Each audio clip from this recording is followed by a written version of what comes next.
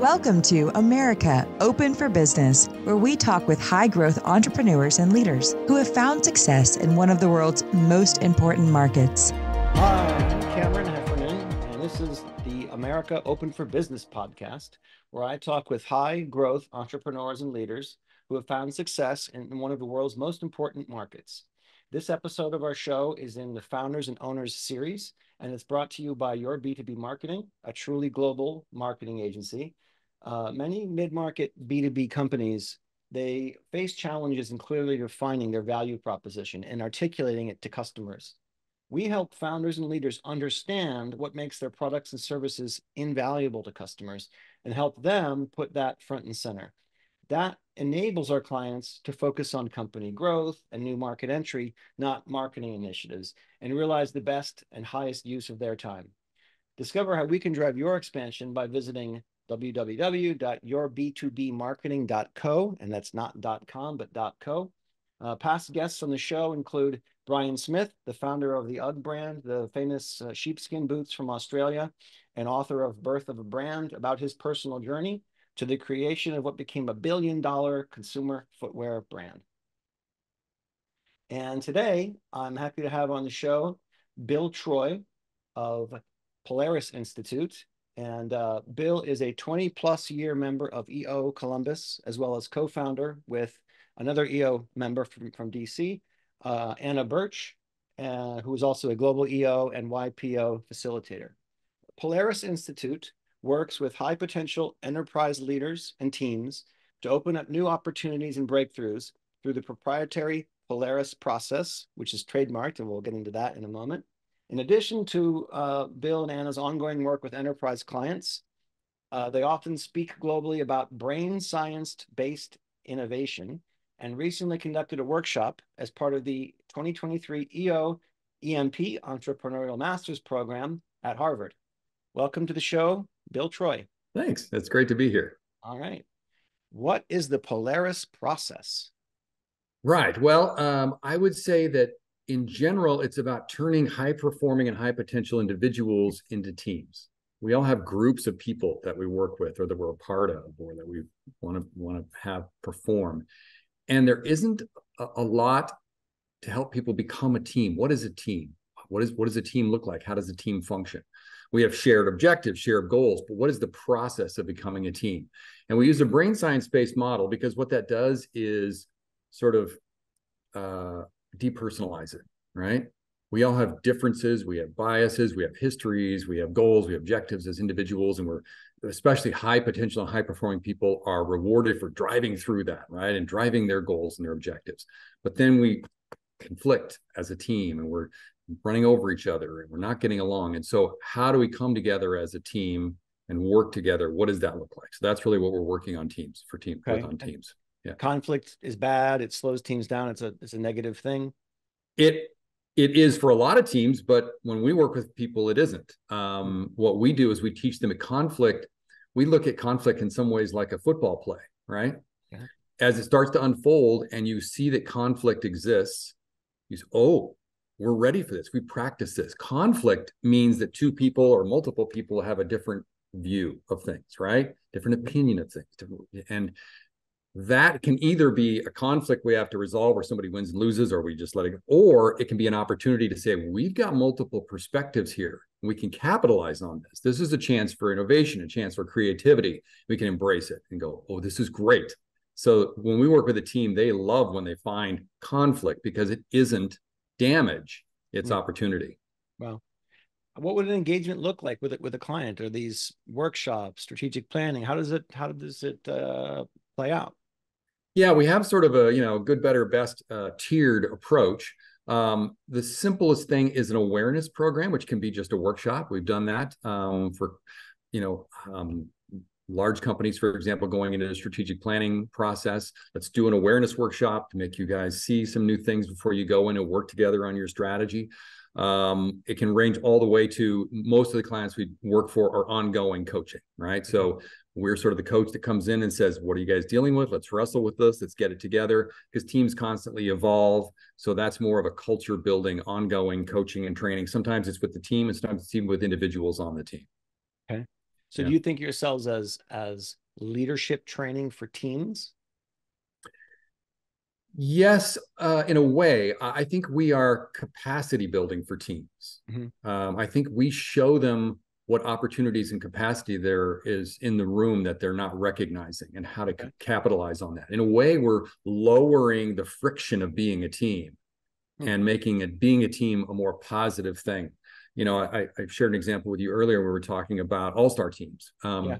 I frequently come in to work with an executive team where everyone in the room. We did this with a with a company in the space industry building um, some space equipment for NASA. And man, everyone in that room was an alpha. They were the top of their, you know, whether whether it was, you know, rocket design or you know entry mechanics or whatever. Hmm. And they had all been rewarded for being really good and really successful. But you come together as a team, and they were all there to drive their own vision for what should happen. It was just fight, fight, fight, fight, fight and we were able to show them look you guys are an all-star team but you're you're not acting as a team you're all coming hit this with a history of being the smartest person in the room and having all the answers but now you're in here with equals. Now what are you going to do? Mm, and so really take them through a day of figuring out what does a team do? How does a team function? How do you go from being bickering individuals to being a team of superheroes where i know that you, you know losing using the marvel version of that you've got invisibility i've got super strength. When do we call on each of us? And we love the fact that we have people with different skills on the team and that's a great thing and that changes the dynamic of that team. Wow. Is there any uh a, a example of an exercise you can talk us through for our listeners for what that might look like? Yes. Well, we start by using the brain science of, of how your brain works and why why your brain functions the way it does. And there- there's a longer version of that, but we end up getting you to the point where to, so everyone can see that everyone has a bias. And the bias that you bring to your reality, whether that's we've got to push or we've got to take our time or we've got Hmm. is based on your history. Your brain only knows what it's ever seen and experienced in its life. Yeah. And so you bring that into every room you go into and it looks to you like the way things have to be done you know we've got to speak up we've got to be quiet whatever that is right Yeah. and other people that do it differently than you are wrong. I mean we can think in our society about how we all yell at each other all the time where people have a different perspective than us whatever side you're on of any issue. You know like Right. the other side is always a complete idiot right? Yeah. because how can you not see? It's so obvious. Well it's obvious to all of us because it's our own reality and our own experience. And when we can show that each of us have that and it's normal to have that it's not a bad thing it just is the way brains work we can realize that okay this isn't a personal thing. This is just six brains around a table that all have different perspectives and we can come together and discuss that and acknowledge it and go what do you see what do you see now it's something we can work on together instead of saying i've got to you know beat you or fix you or whatever Right. So you're kind Yeah. of challenging to me. I think when I think of, I hear the word bias, yeah I think there that's a negative connotation, right? But you're challenging that, right? it's become a negative word in our society um, because what we're talking about is when one person's bias injures another person. Um, but in fact, we're all biased. I mean, our brains, again, like I said, have had limited experience on this planet in the course of our lives, and our brain can't know anything else than that. And our brain's job is to kind of anticipate and create what we want to see and try to, you know, make life what we want it to be. And so being able to sort of stop and address that and say, no one is good or bad you just are who you are. Now, let's talk about what we want to accomplish as a group and say, how do we get that done? And who around the table has a new perspective, who has who has some bias that's good that could help us, who can see something that I can't see. And we make that a make something that's a superpower for the team and not something that tears the team apart. Is it, do you find it challenging to no, negotiate or, or I guess navigate probably the better word within corporate hierarchies? Often I guess you're going to engage with somebody at the C level or maybe an HR that brings you in. Is that a challenge when you're trying to work in a, a team kind of structure? Um, it it can be what what the the challenge we run into is when someone wants to bring us in to fix other people. Right? fix my team or fix my boss or whatever that Yeah. you, you kind of can't convince someone to do it if they don't want to do it so it really has to make sure you have to make sure you have buy-in from everyone that's going to be involved in the process um, otherwise when we get in the room with people and we can kind of break this down and we have some techniques we use to literally show people you're making up this reality you're completely not seeing what's really right and what's really true and in fact no one is all of a sudden it resets everyone to go oh wow okay and it really sort of no matter what level you're at. So it's a matter of whether people want to go there or not. Okay. Okay. Yeah. And is this when you engage with companies? I assume it's mostly companies that you're working with. Yeah. Okay. Yeah. Is it uh, sort of like the way I think of strategic planning? Maybe that's not the right. Maybe it's more the traditional way. Is strategic planning happens a little before the end of the year. We do it once, and then we don't do it again until next year. Are you doing a little bit different than that? Yes, we're not doing strategic planning. We are helping the strategic plan actually work. Hmm. So, um, for example, as I mentioned before, we worked with that with that um, high performing um, you know space industry company, help them make sure they got a good strategic plan, right? Help okay. we can really explore some things. Um, typically, what we're doing is more ongoing work, and we have a client, for example, right now where one company acquired another company, mm.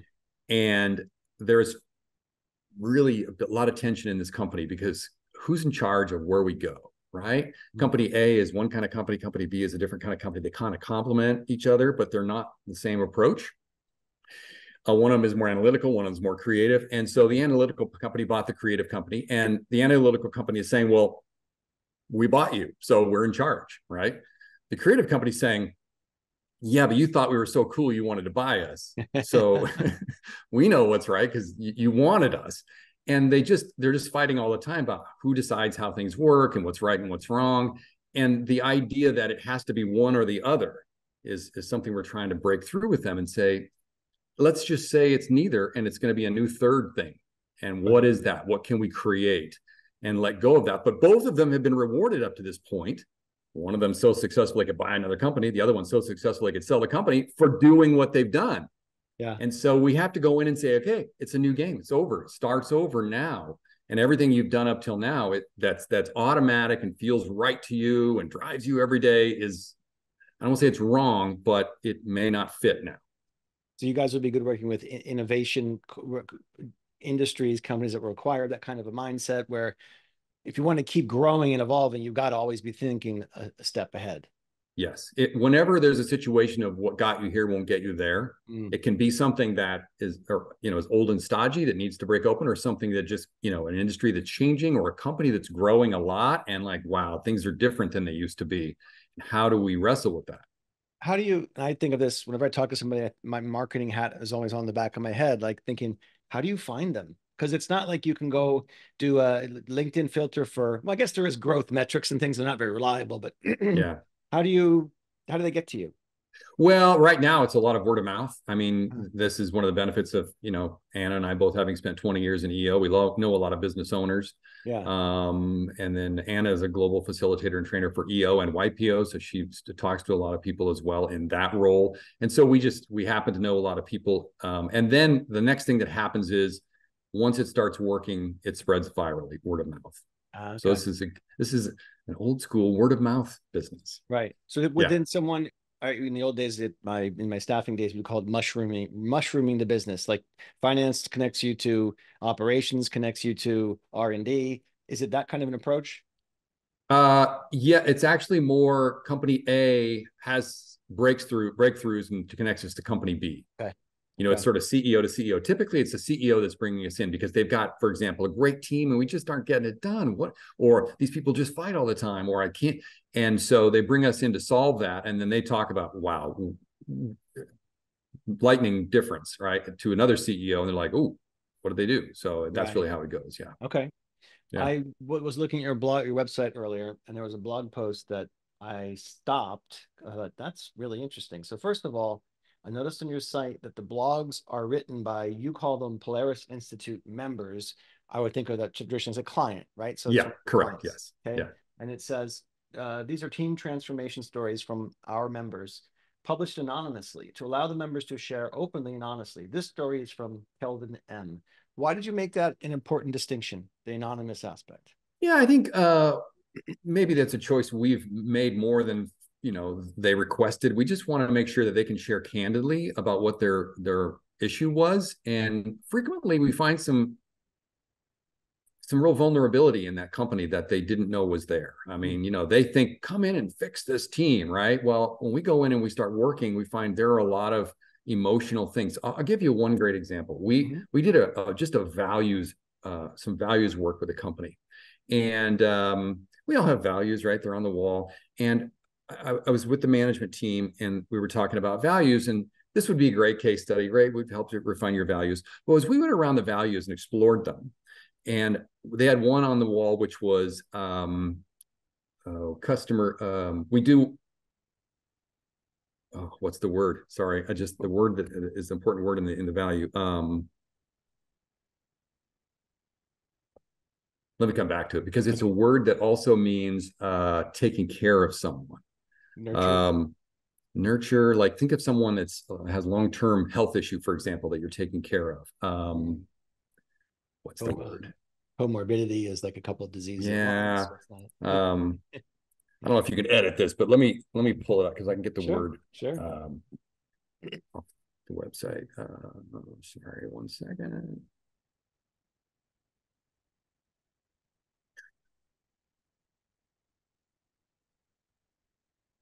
There we go. Okay, got it. Okay. So it was so simple. That's why I forgot it. One of their values is we care for our customers. Okay. okay. Well, uh, duh, what's wrong with that? Right. As we went around the room, though, we explored that idea that we all have our own bias, our own brain has experienced what it's experienced in life. They suddenly started to realize this was going to be much deeper than they understood because they, they, they thought it was going to be because what we care for our customers meant around the table was different for every person. Oh. Some of them we do whatever it takes, we stay up all night. Some of them are like we think about them and we reach out to them or we we anticipate their problems before they happen. And one of the people on the management team had been quiet and we got around to her and we'd created enough of a safe space. She said, caring is a burden. Hmm. We're like, whoa.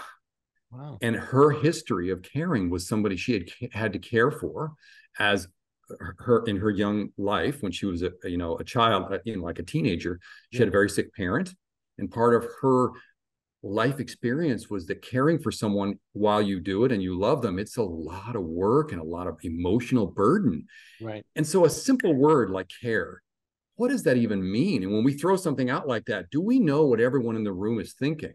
And so a lot of times we get into into a process like that and things come out we're like, well, okay, we're not going to put your name on the website for that because that's we want to share that vulnerability that came out in the room. And that's when teams really can open up and say, oh gosh, as a group, we need to make sure we understand what care for customers means. And as mm-hmm. a team, we can decide that now. We can create behaviors of what we mean by that and not just assume because we put it on the wall, everyone knows. Yeah. And now we can work together on that. And we can even know that we're part of what we're going to do is support this person in what they've been through in life as a team by helping make sure they don't feel that pain that they mm-hmm. that came with them that we didn't even know was there again because wow. they have their bias we have our bias right? Yeah. So that's an example of the kind of work that happens in the room that really opens things up. I love that. There's so many things that i'm going to probe into a little more. One is you couldn't that that doesn't come out in the first 10 minutes of sitting down with them right? So like how no. did you get to that point what do you yeah, well, to get to that point of vulnerability and them them being comfortable sharing that? Right. Well, it's a matter of setting the stage so that that again, a lot of it goes back to that brain science base that we have. The brain science based again sort of depersonalizes it and makes everyone in the room realize that they what they're experiencing, what they're feeling is just the sum total of what they've had in their life. So it's okay. And creating that environment is the first step. And then of course some people are you know braver than others is starting to share. She was the last one to share. But starting to create that and show even that everyone has a different perspective. Um, and and by the way we were going around the table and one person said you know we work all night if we have to. Other people in the room were nervous about that. That's not what i think caring is right? I think caring is making sure we don't have to work we had another one um, for a, a company that had like a really specific safety issue that they were working on. And one of the people at the table thought that hard work meant you stay after hours. If you got to stay till eight o'clock at night to get it done, you stay after eight to get it done, till eight to get it done. And someone else at the table, when we created this open space to say, well, let's just talk about all the different possible perspectives there could be at this table about what doing it right means. Yeah. One of the other people said, I, I think if we have to stay till eight o'clock, we're going to make a mistake and someone's going to die. Oh, wow. Interesting. I, we if if we are tired, so someone thought being tired meant you were doing it. Someone thought being tired means we're not doing it. I'm like, oh my goodness, wow. Okay, you're both right. Right. But you both, but we got to choose a path here going forward. So that stuff comes out around the table amazingly when you start letting everyone open up and say, well, this is what I see when you say just that word. Do you guys encourage, do something to encourage the leadership team or whoever brought you and engaged you to share first? Because I think it's going to be hard for somebody in a lower level to be first out of the gate saying, you know, caring is hard. Yeah, yeah, you've got to read the room, and if it's uh, if it's people from you know um, different levels in the organization, certainly trying to get the leaders to go first and and exhibit that behavior is key. Mm-hmm. Yeah. Another thing I find values. I'm very interested by companies' values, how they how they are formed, how often they come from the owner and founder. But the owner, you've got to just leaving them there doesn't do much good. Like you've got to yeah. get the rest of the team to really be behind it. And I, the analogy that I remember, I read it somewhere in a book, which is, have you ever heard of a company that says, we don't care about our customers, right? Right. we, we don't care about quality. We don't care. So it's very trite to say, well, why are you guys, what makes you special, unique? Well, Bill really cares about his customers. Well, I, for God's sake, I would hope so. Right. Exactly. So getting these values to have actual resonance, you guys do a lot of work in that area too, or as part of the, the approach? Yes, uh, because you have to make it real and and make it clear, right? So there's another one great when people have to do the right thing. What is that? right. No one's doing the wrong thing, or That's are right. they? Right. So yeah. so it, it becomes um, you know behaviorally. What does that even look like? How do we know if we're doing it? So mm-hmm. um, translate it into behaviors, and, and this is where then it feeds into things like a strategic plan or in performance metrics. You know, we're doing uh, mental health and mental performance coaching, but we're not working typically with the HR department. We're working with the operations and and business operations side of things because we're moving metrics. Hmm. and that's really where this has value is to say okay how do we get efficient and effective? And we know what page everyone's on here.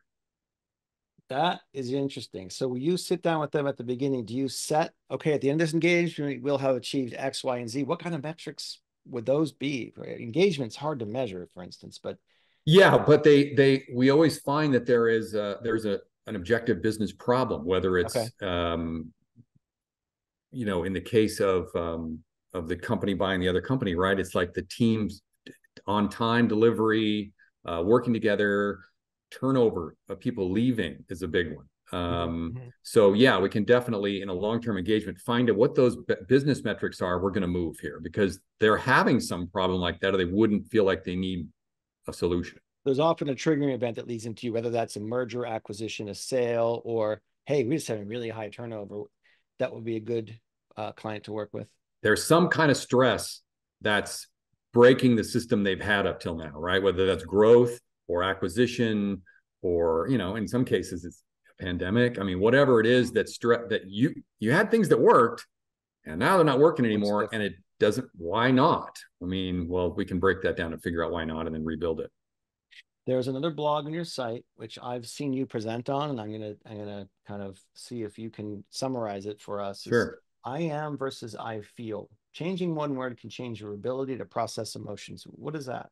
Yeah. So um, when we're working with individuals, um, and we do teamwork and individual work, but even sometimes the teamwork is with individuals on the team, right? We can we sometimes are coaching individuals and working with the team as well.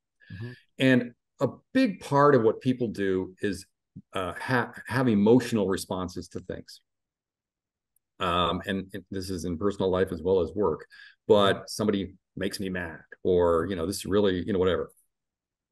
And there's a syntax thing that we use when we're speaking, a semantic uh, way of saying it. We tend to say either two things, one two things. You say you're making me mad, or you're making me X, whatever X is. You're mm-hmm. making me angry, making me sad or I am sad, right? Mm-hmm. Well, neither of those things are true from a logical standpoint. Like you don't have the force or mental telepathy. You can't actually make me mad. You can do something that I get mad about, right? But you can't make me mad. I make me mad because of what you're doing because I feel like me getting mad will somehow stop you from doing it or I'll be able to whatever. So the the emotional reaction is always my own reaction to you. Mm. You make me mad. Um, so just realizing no one is making you anything. You're making yourself that. Okay, is the first like what? Okay, but then the next thing is is that you tend when we're when we have some um, discomfort physically, knee, headache, whatever we say, my knee hurts, Mm. my head hurts, I have a headache.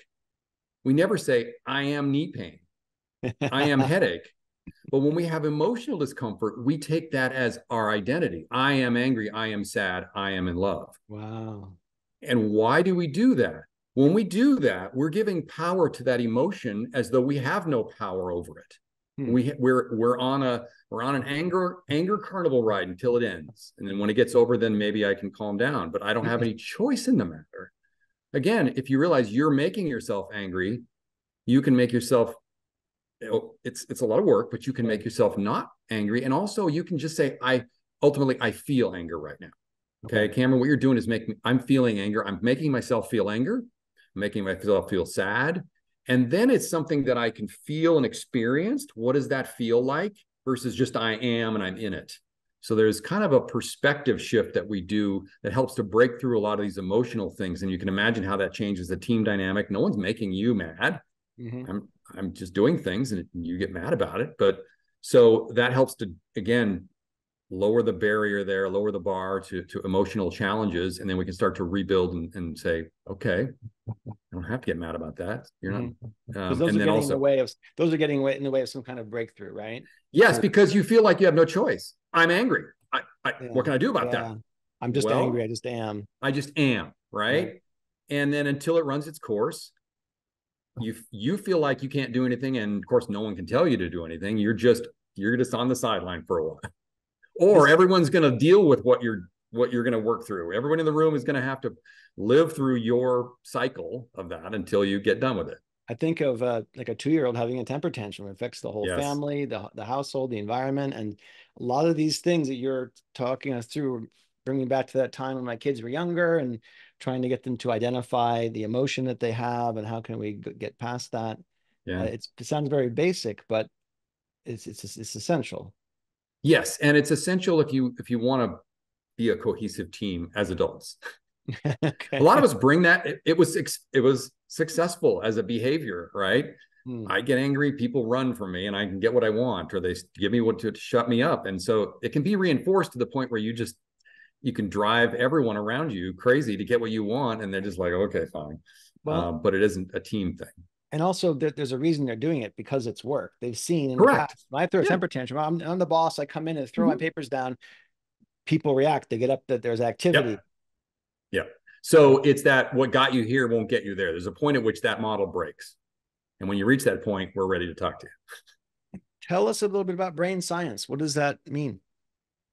So um, a lot has been discovered in the last uh, 10 years or so um, in the brain science field. Now, I'm not a brain scientist. We have people that are advising us to build a program. We're using brain science in our program, using discoveries in brain science to really set the table for how the discussion happens. Mhm. But um, basically, um, this idea that our brain has only experienced what it's experienced in the past. There's been a lot of work in um, MRI technology by having people go through certain situations and track what's happening in their brain and see what's happening. There's there's there's just a lot of new information about how our brains work um, and what they're trying to do, and the fact that they're creating our own reality. Right, our brain has. When we go through the, the the course, we teach people your brain has only one job you only have one for one reason, and that is to keep you alive long enough to carry on the species.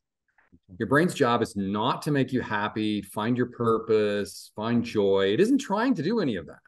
It's trying to keep you alive. You know, effectively, you are prey. We think we're the top of the food chain, but I'm hello, I'm round, slow, and soft. I got nothing. I have no weapons, no armor, no protection. If I didn't live in a house, you know, and have cars and everything to protect me, I'd be like vulnerable out there, quivering.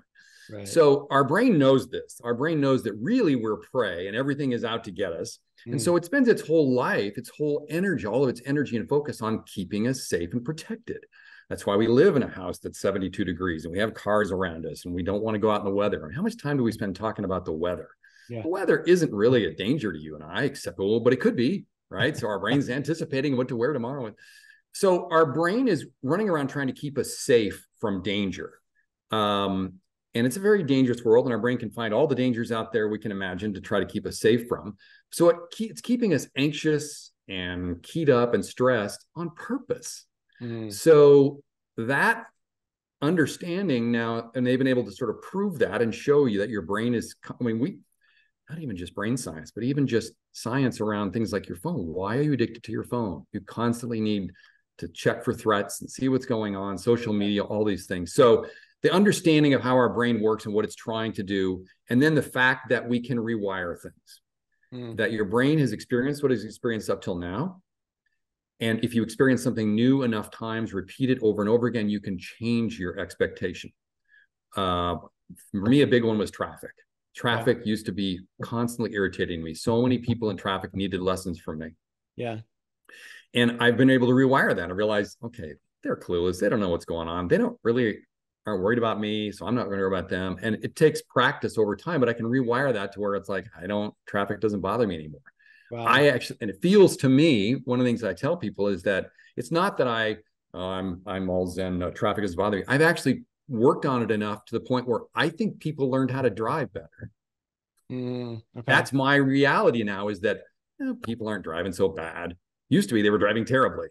When in fact they haven't changed, but I've changed.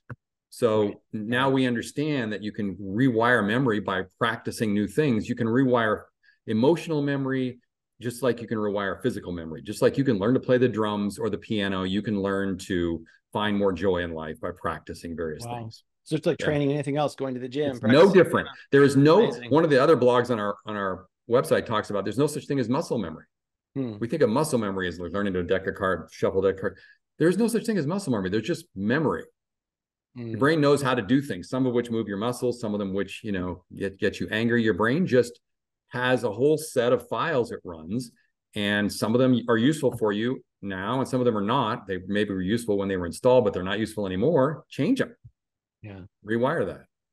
There's a book that you put me onto, which I'm listening to now, Atomic Habits. Mm, yeah. Right. And it talks yeah. a lot about this stuff and just, uh, I think we overcomplicate things a lot, but like if yes. you want to make change, put yourself in an environment where change can happen. So yes. I want to lose 10 pounds. Don't bring candy, pizza, and junk food to the house. It's harder when you have children because I can't say, Hey, you guys are, are out of shape. You should eat all that stuff. That's harder. Yeah. But you want to start going to the gym, just sign up for gym and go every day. Eventually you'll be working out there because you're there. Yes. Yeah. James Clear is one of our heroes of Polaris Institute. It's it is the way his process is the way you change things. You know, we're able to go in and break things down and show people they need to change and show them new perspectives. But then as far as building those new habits so that you react that way when you walk in the door at home or you don't react that way when your coworker walks in with a whatever, that's practice. And James Clear's model is what we use a lot.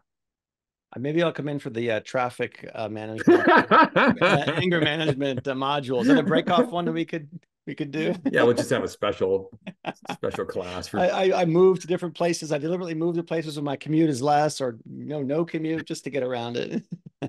right. Um, well, I'm gonna. Well, I'll tell you. Let me tell you the secret. One of the yeah. things you can try as a mental trick. Yeah. Think of what you're imagining that other driver looks like. And for me, it was always like there's some young 20 year old jerk, right? And now what I do is I imagine everyone else on the road is a little grandmother. Okay. And so now when they do something stupid, oh, they're sweet. They don't even know. God, pat them on yeah. the head. I just yeah. feel differently about who's in the other car. And it changes my whole perspective of what they're doing. They don't have, you know, they don't have malicious intent in mind. They don't try to cut me off and keep me from my thing. They're like, oh my God, they're clueless. I right. need to help them across the traffic here. Watch That's out. they're coming think, over.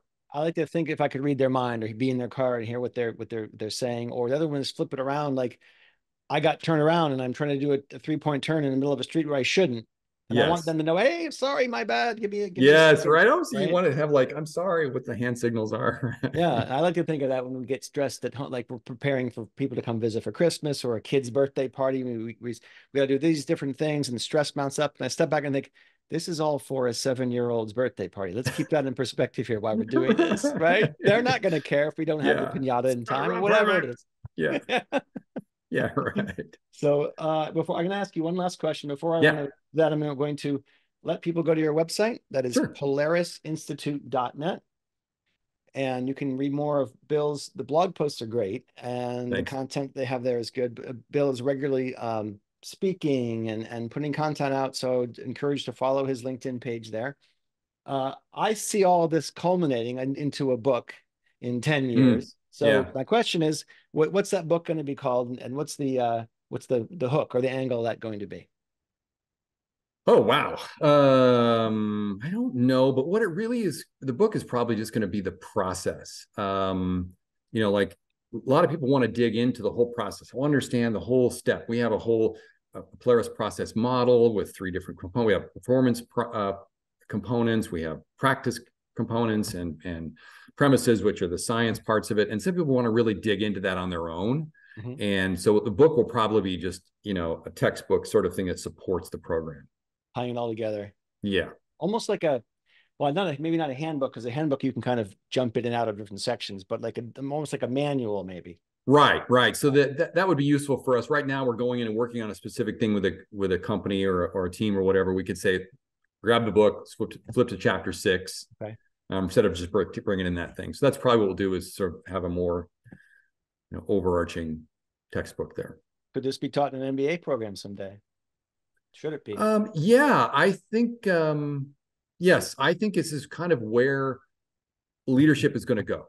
I think we're finding that we're going to have to be much more empathetic, much more, much more about EQ than IQ. And I think this is the kind of work a lot of people are going to do to realize, well, my, my team is limited by IQ. We've got to find out what EQ looks like and what what does that look like? What does training like that look like? And uh, how do we do it? So I think it's going to become more of a thing you and I have talked about the gap in the gain book and concept. Mm-hmm. That one comes to mind when I think of that. If you go back 10 years ago, the concept of looking at EQ and measuring it and, and, and, and how it's changed has changed dramatically over that time frame. Mm-hmm. So it's mm-hmm. good to look back and see where where we come from 10, 15 years ago with respect to uh, EQ.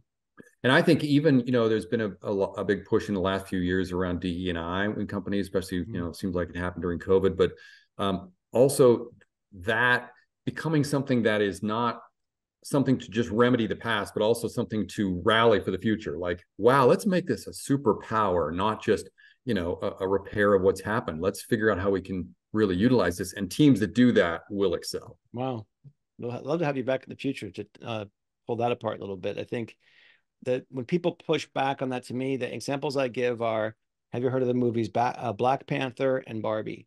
Why were mm. those billion dollar global successes? Mm. And, and, and people say, well, I think DEI is overblown or it's a fad.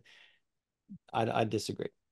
Yeah, I think it. Uh, again, we think it's only some you know, because we're back to that thing where bias is a negative thing, and that we need to fix the biased people. Wait, we're all biased. Yeah. Oh, okay. And bias, since it's not just a negative we're trying to eliminate, it could be a positive to capitalize on. That's when it lights up, and that's when it becomes something that's really good. Because mm-hmm. you're bringing yeah. conversations out into the open rather than, oh my God, I should yeah. feel ashamed that I don't know X. Right. I want to, I want to have as much diversity around this table. I need as many, if you just think of just innovation, I need as many realities and points of view around this table as I can get mm-hmm. in order to succeed. Yeah. Now it's something I want. I, I we've got to have it. That's right. It's not. It's a, com- yeah. It's competitive advantage. And, and oh, yeah, by no the question. way, my clients are like that too. My clients are also diverse. They're not homogenous, all the same cookie cutter either. Yeah. Yeah.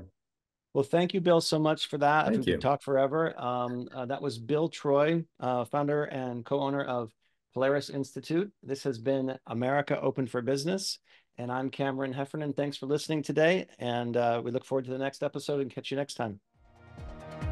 Bye. Thanks for listening to the America Open for Business podcast. We'll see you again next time, and be sure to click subscribe to get future episodes.